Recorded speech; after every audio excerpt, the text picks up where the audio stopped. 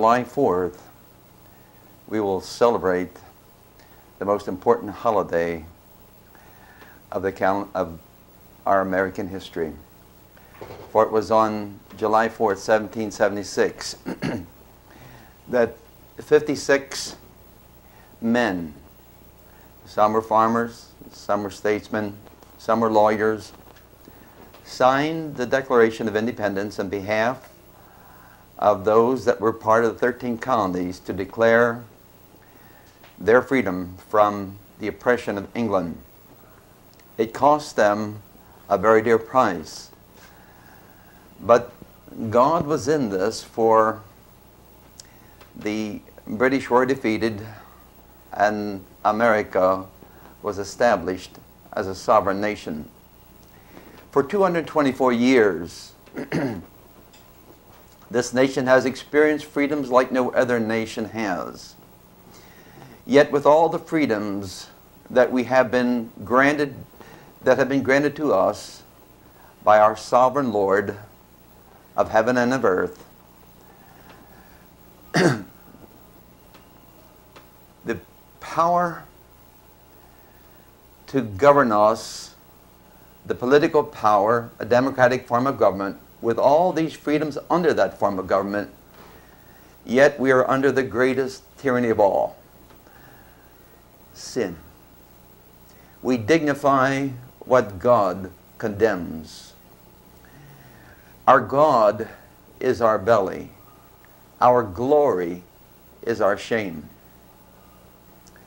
And we revel in the basest of human depravity. For a major city to name a street after the founder of Playboy, which is sheer pornography, is indicative, indicative of the slavery of sin that prevails over this nation. What awful slavery. Jesus said to the Pharisees of his day, who claimed to be in bondage to no man, he said, Verily, verily. And those two words speak of the most profound importance. Listen to this statement that Jesus gave to the Pharisees of his day. He said, I say unto you, whosoever committeth, that word committeth means to be continually practicing sin, is a servant, is a slave of sin. In other words, sin has become the master, the tyrant by which that individual lives. And America as a nation has certainly been a slave, subservient to that word which we call sin, which is lawlessness against God, our Creator. And so it seemed well at this time of year to speak about freedom, not physical freedom. Even though we enjoy physical freedom, political freedom for whatever years that we dwell upon the earth, how dreadful to think about a prison that we can never escape from, the eternal prison of hell, for all who will be slaves to sin in time will be prisoners forever in that eternal habitation called hell from which there is no escape. And so I thought it would be well to talk about true freedom. This is the voice of broadcast coming your way, and I'm your host, Paul Fry. In Psalm 52, 3, verses 2 and 3, we read these words or hear these words. The Lord looked down from heaven upon the children of men to see if there were any that did understand, that did seek after God. But there was none. All have become filthy. All have gone aside. There was none that doeth good, no, not one. Then Isaiah, 700 years before he would come, Prophetically, it was written of the one who would come to set sinners free, the Lord of glory, the Lord Jesus Christ, Listen to these words from Isaiah 61 1. The Spirit of the Lord is upon me, for he hath anointed me to preach good tidings to the meek, to heal the brokenhearted, to set the captives free, to open the prison of them that are bound, to preach the acceptable year of the Lord. And then the time came that he would dwell upon the earth 700 years later. And on an occasion, he had started his earthly ministry. He had been tempted of Satan in the wilderness for 40 days and nights. And then he had done a teaching and preaching ministry, had set up his headquarters, his base of operations in Capernaum. And now he makes a journey to his hometown of Nazareth. And we'll pick it up in the 16th verse. Listen to these words. And he came to Nazareth, where he had been brought up. And as his custom was, he went into the synagogue on the Sabbath day and stood up for to read. And there was delivered unto him the book of the prophet Isaiah, from which I just quoted from. And when he had opened the book, he found the place where it was written, The Spirit of the Lord is upon me, because he hath anointed me to preach the gospel to the poor.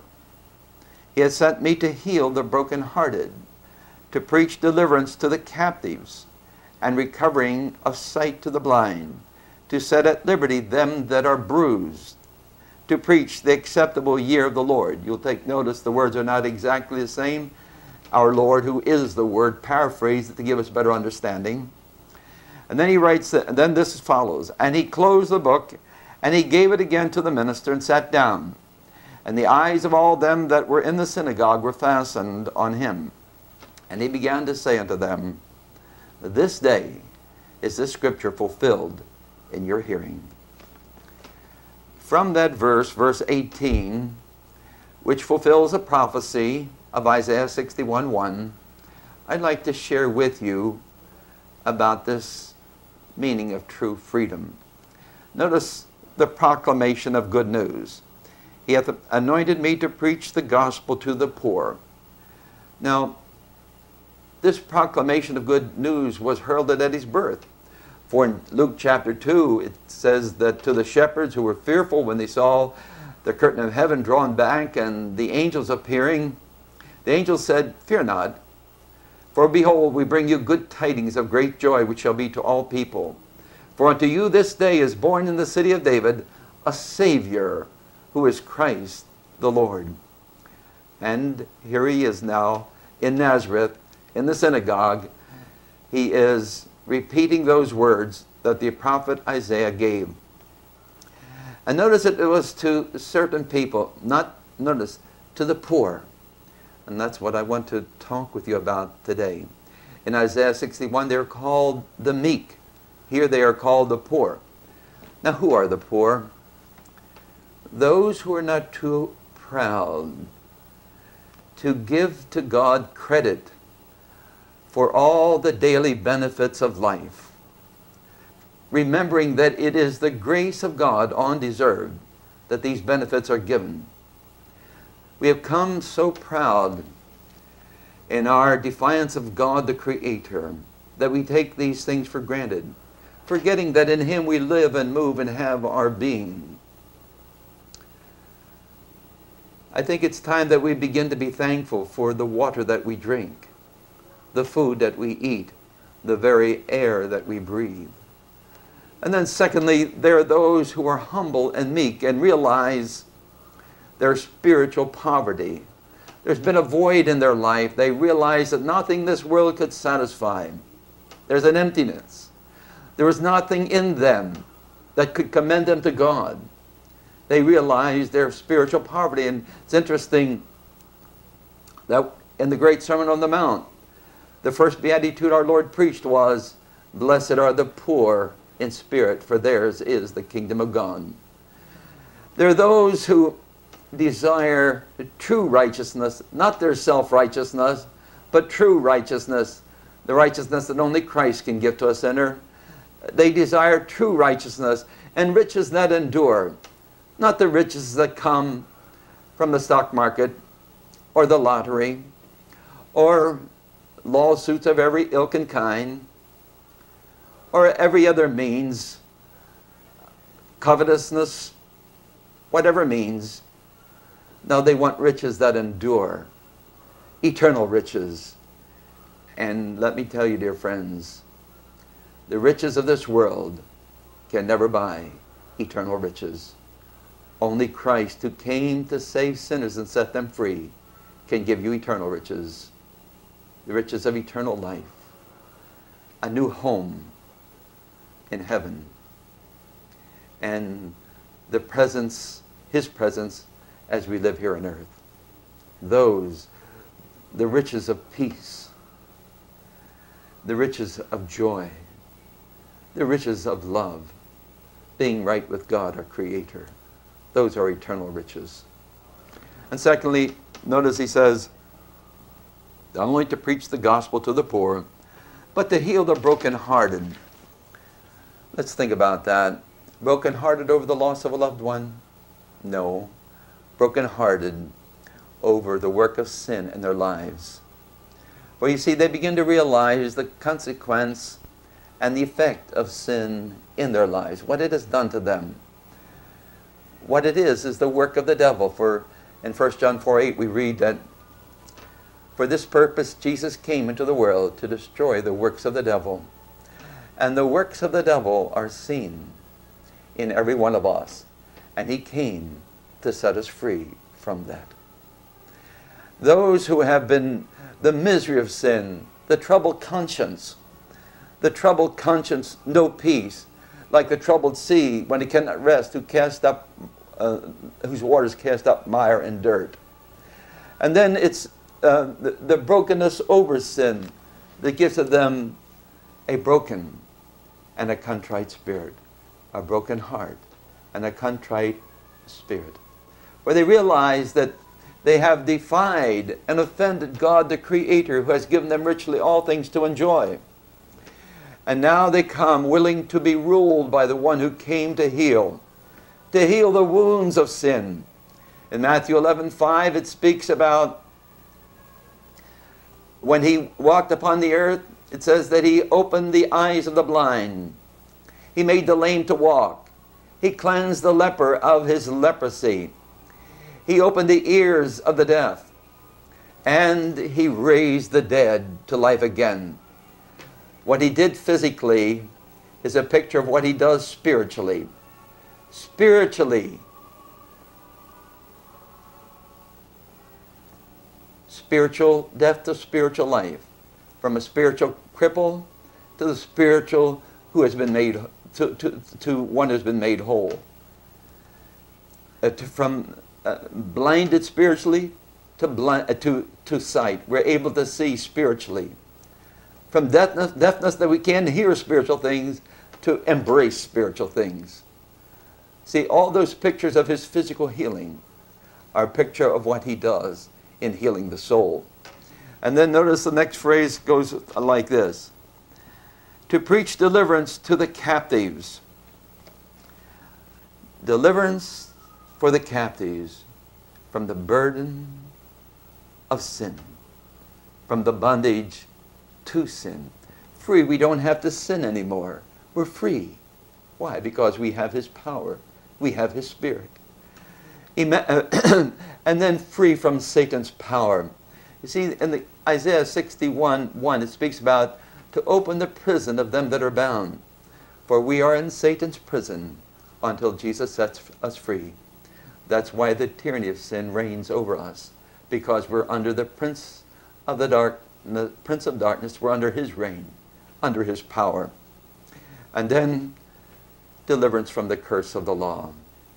You see, those who haven't, those who have not fulfilled the law are under the curse of the law, and none of us have fulfilled the law.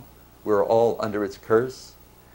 But then verse 13 of Galatians 3 says this, but Christ, to, who came to deliver us, delivered us from, from the curse of the law, being made a curse for us. You see, he fulfilled the law. And then he was made a curse for us to redeem us from the curse of the law, for it is written, Cursed is every one that hangeth upon a tree.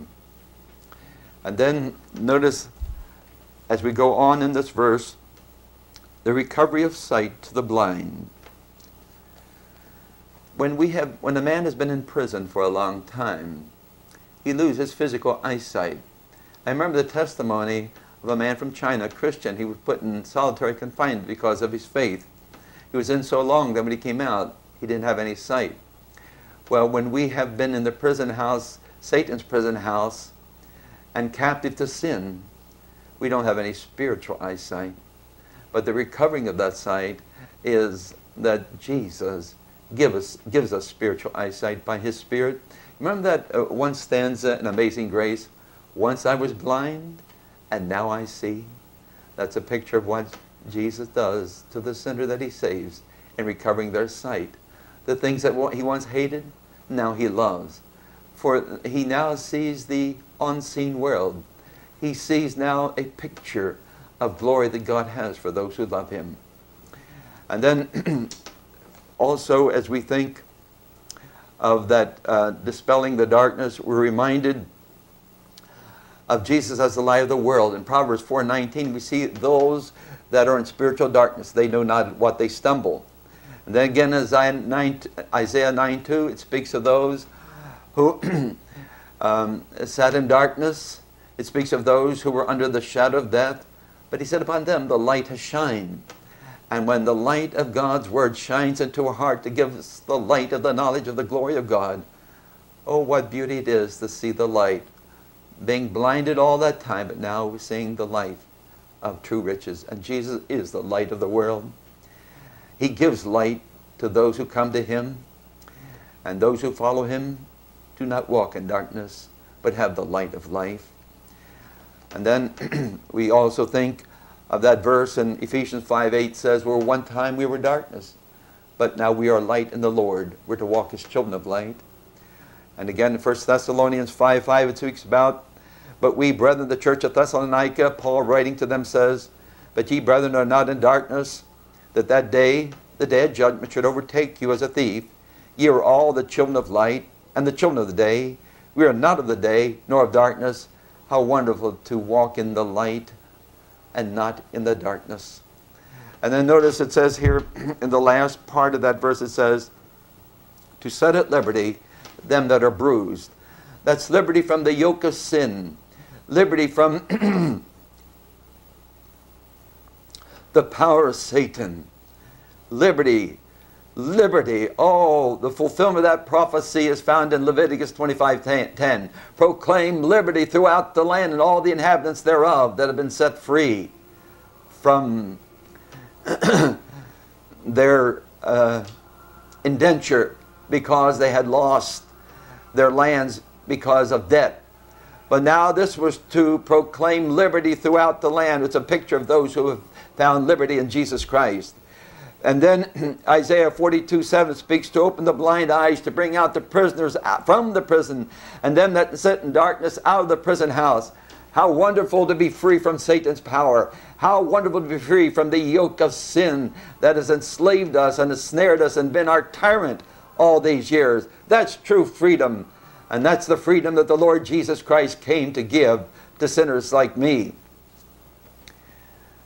Now I would add one other phrase Oh, happy condition of those whose souls have been set free.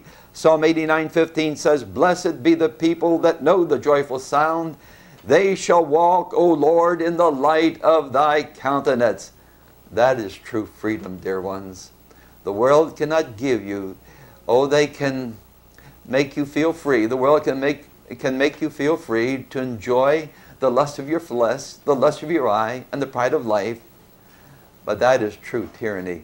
That's enslavement. That takes away the dignity of man that God created in man when he created him. And then notice the last part it says, to preach the acceptable year of the Lord. What is the acceptable year of the Lord? It is just this it is those who are guilty of offenses against God the Creator may now be reconciled to God through the Savior. You see, the scepter of pardon is now extended to those who hear the gospel and respond. And for those who have been set free, I would like to quote a, ver- part of a verse from the Battle Hymn of the Republic, which was written during the Civil War. It goes like this As Christ died to make men holy, let us die to make men free. Well, this was written many, many years after the Apostle Paul. But I want you to hear the words of the Apostle Paul, who was the chief of sinners. He was the chief of sinners. But one day he met the Lord on the road to Damascus. And from that time on, he was a free man to live as God intended him to live and to bear the good news of the gospel. That the gospel is given, the power the, there's power in the gospel to set men free. Now listen to his words in Acts 20, 24. When we, our soul has been set free, then indeed we become the target of the enemy. And the Apostle Paul had completed three missionary journeys. And now he was going back to Jerusalem. And he knew many trials awaited him. And he knew many bonds awaited him. But listen to what he said. None of these things move me, neither count I my life dear unto myself, that I might finish my course and testify of the gospel which I received of the Lord, to testify of the gospel of the grace of God.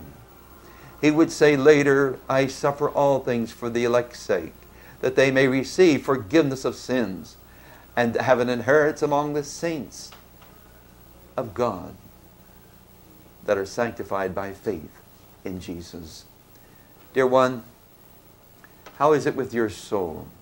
If you have been set free, if you have true freedom, you too will proclaim this message, this gospel message of freedom to others that they too may be delivered from the tyranny of sin and from the power of Satan. Paul was commissioned to go to the Gentiles who were in heathen darkness and this is the word that the Lord gave to him through the gospel. Turn them from darkness to light and from the power of Satan on to God that they too may receive forgiveness of sins, that they too may be set free, that they too may be have an inheritance among the saints that are sanctified by faith in the one who came to heal the brokenhearted, in the one who came to preach good news to the poor, in the one who came to set the captive free, in the one who came to set at liberty those who have come to Jesus. How is it with you, my dear friends? How is it with you? Do you count your life dear unto yourself? Are you steadfast regardless of the opposition that you face? If people revile you because you have found freedom in Jesus Christ and you want to share the gospel that'll set them free too, when men revile you, do you turn aside? Or are you like the Apostle Paul? None of these things move me. You're steadfast. Just like the Lord was steadfast when he set his face to Jerusalem when his hour had arrived to give his life a ransom for many. And what about you? Have you learned what it means about self-denial? Jesus said, if you want to follow me, deny yourself and take up your cross daily and follow me. The Apostle Paul would say he counted not his life dear unto himself. Why? Because for him to live is Christ. See, when you have true freedom, that is the freedom. To live is Christ, the one who has given us freedom. And to die is gain. For to die means to be with him forever. And then the next part is, to, he said, to finish my course. This is taken from Acts 20, 24. For those who have found true freedom, then we should be like the Apostle Paul. And the, these are the words that he's saying to finish his course. Each one of us, when the Lord sets us free, has given us a job to do. And like the Apostle Paul, he wanted to finish that job. And so are all those who have been set free in Christ. We live in a wonderful land, America. As I said before, we have known freedoms like no other people have. And at the beginning of the program, I mentioned that we have become slaves to the greatest tyrant of all, sin. And the author of sin is Satan. We're in his prison. But let me tell you, dear ones, you can know true freedom by coming to Jesus Christ. Jesus said, if the Son shall set you free, you shall be free indeed. We thank you for your interest in the ministry of the Voice of Truth. feel free to call us. Our telephone number is at the bottom of your screen, 718-428-1082, or write Post Office Box 1376, Manhasset, New York, 11030. We're here to pray with you. We're here to counsel you if you have that need.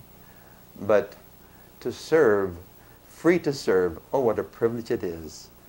And may you know the true freedom that only Christ can give. God bless you till we meet again.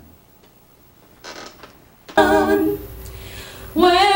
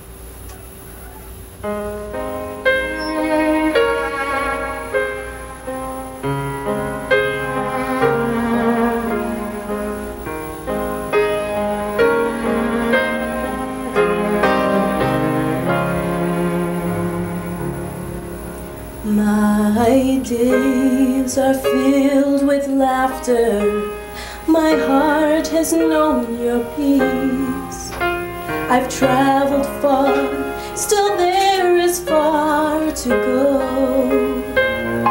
Cause in my heart there is a longing to look upon your face. Where you are is where I want to be.